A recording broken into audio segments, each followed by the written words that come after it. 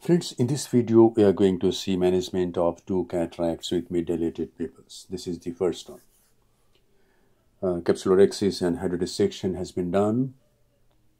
Phaco goes in, some superficial lens matter is removed, and the tip is buried in the substance of the nucleus, and the chopper is used to divide the nucleus. You can call this vertical chop the tip the nucleus is rotated a little bit. The tip is buried again chopped and the free nuclear fragment is emulsified.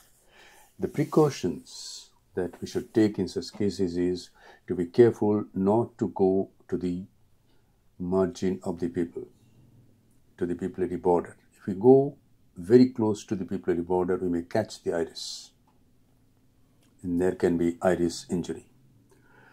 Again, the other heminucleus is positioned and it is chopped into two fragments. All the time, the bevel is towards the uh, right side, and now the bevel is down, holding the epinucleus, and towards the end, the bevel is up. So the bevel, so the handpiece is rotated inside the hand, inside the fingers, by the fingers to for safe phacoemulsification. This is the second cataract. Both the cataracts are of grade 3 NS. Capsulorhexis and hydrodissection has been done. The needle goes in. Some superficial lens matter is removed.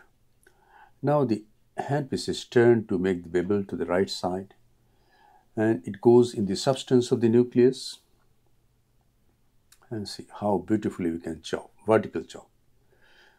And here I see that the, there is surge. Why there is surge? Yes the antechamber is almost collapsing. I asked the assistants and they said that oh the bottle is finished. The ringer lactate oh no the BSS bottle is over. So we wait get another bottle and go in again so we just